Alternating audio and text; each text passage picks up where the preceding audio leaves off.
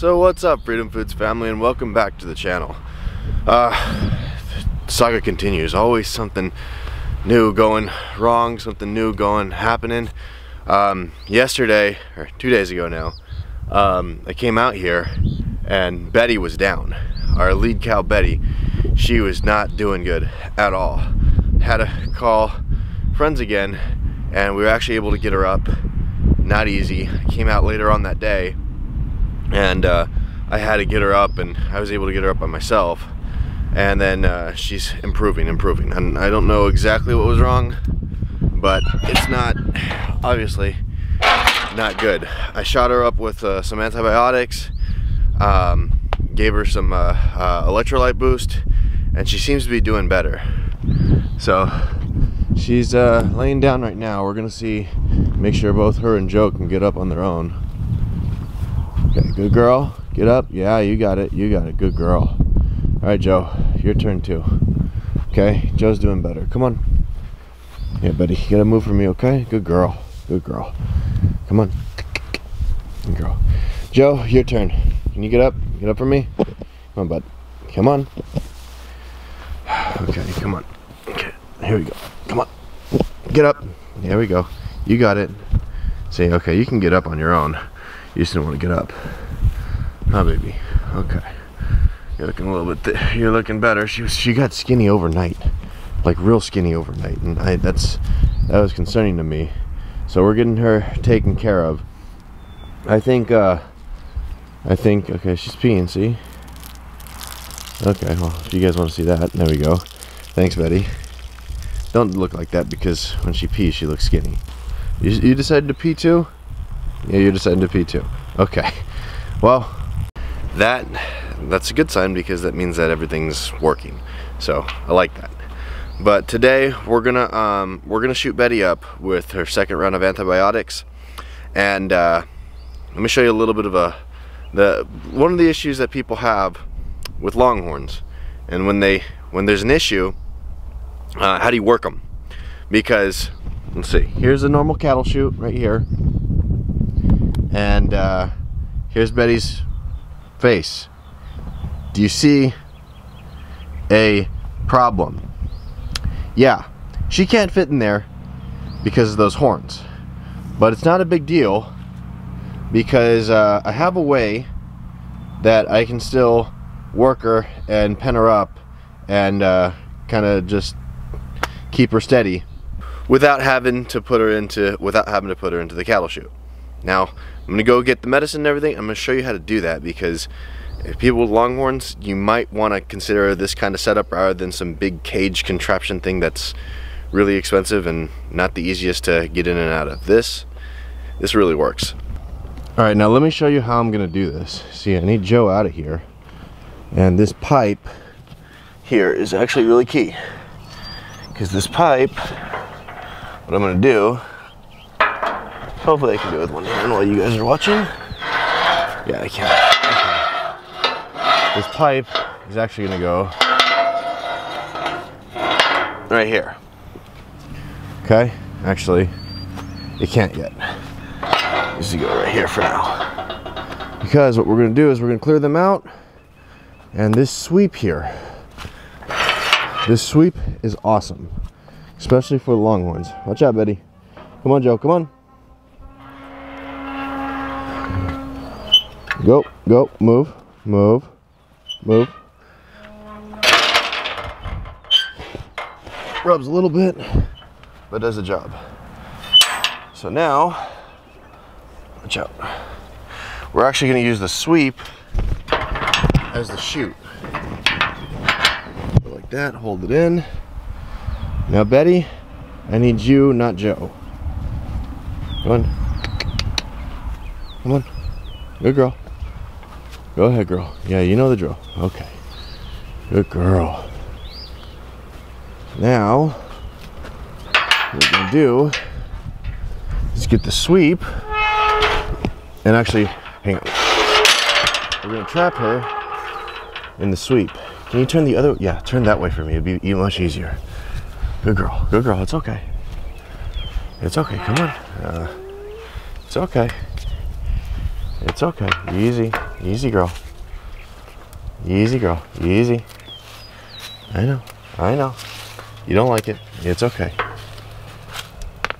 Okay, see, look. You can go like this. And now she's caught. Hang on. Easy. Easy. Easy. Don't, don't mess around. Okay? Hang on. Okay, what I'm going to do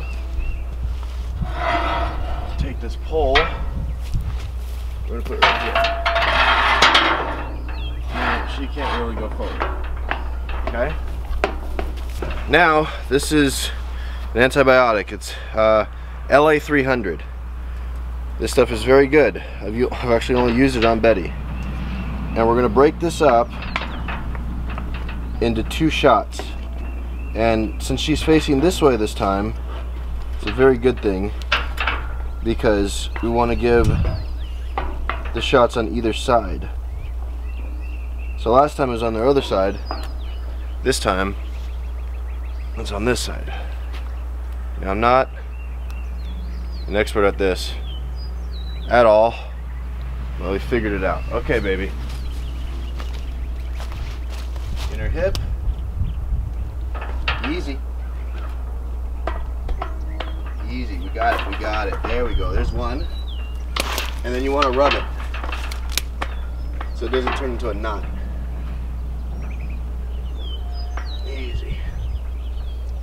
There we go. So you give her half. At least that's what I was told to do.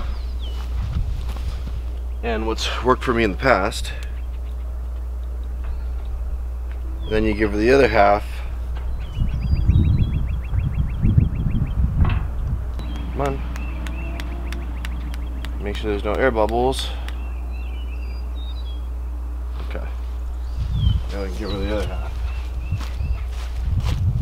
Easy.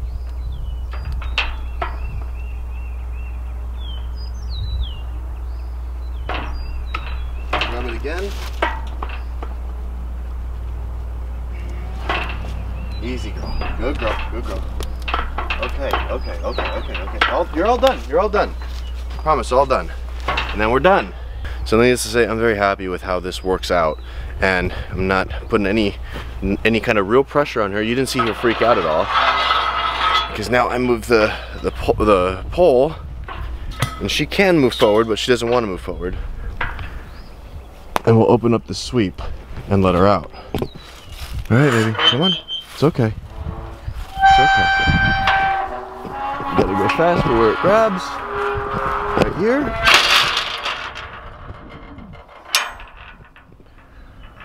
Let's have her walk out. See, good girl. That's my good girl. You're doing better. You're doing so much better. Good girl. Then, close this back up.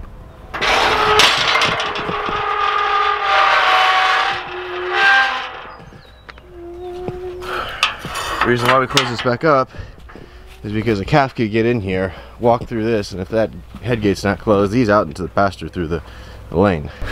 So Betty's a lot better, so is Joe. They're getting up on their own. Um, they've gotten, she's gotten her medicine, he got his electrolytes. I didn't feel like because of how he got stuck, I didn't think that he needed a um, antibiotic and I will avoid them at all costs, but when they, when I feel like they need them, they need them. And I think I'm comfortable enough to let them back with the herd. Cause that'll help keep them, cause that'll help keep them calm when they're with their friends. Because I don't care what anybody says, yes, cows have friends. And when they're with their friends, they're a lot calmer. Go ahead, baby. And she is the lead cow, so this is her herd. So she can come out. You wanna come out? It's okay. You wanna come out?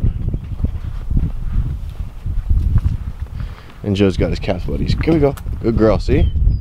Look at that. We're better. Come on, you wanna go out too? You can go out too, just don't be stupid, okay? No more trying to reach under fences. You got plenty of hay, you got plenty of everything. They've been pooping, they've been peeing. They're getting up on their own. Had to help him a little bit today because I think he was just being lazy. And now they got a nice big bale of hay. See, look, that's Yoli. That's Betty's best friend. She's gonna go straight over to her. she's either gonna go straight over to her or the hay. And uh, Deuces, Deuce, Deuce is doing great. And look, she's gonna go eat. She's gonna go eat. And pushing sheep around, telling her that yeah, even though I was gone for a little bit, I'm still the boss. So it's been a stressful few days with the cows, um, but I think we're I think we're gonna be okay. I think everybody's gonna be okay. Um, Betty was the one I was actually more concerned about, even though Joe was unconscious when I found him, but I was able to bring him back quickly. Quickly, it's the problem is that you can't leave a cow down for too long, and Betty's like 1,000, 1,100 pounds. She's a big, she's probably the biggest cow. Uh, the only one bigger than her is probably Jordan right now. Um, she's not light, and uh, I couldn't. The the when I found her, she was on her side, and I had a I had to drag her out of uh, kind of the muddy area and I tried getting her up by herself, by myself, and um, I got her back legs up, but I couldn't get her to get her front legs underneath her. So I had to call um, my friends that helped me with Joe. They're like, another one? Went, yeah. Um, so they uh, they came over, really nice, came, helped me, uh, we got her up in the back, and then I got underneath her head, put her shoulder, or put my shoulder right underneath like her chest, and I just lifted and sure enough she got up and she started walking around. We walked her down here um, into this uh, if you want to call it hospital pen recovery pen and she's doing better.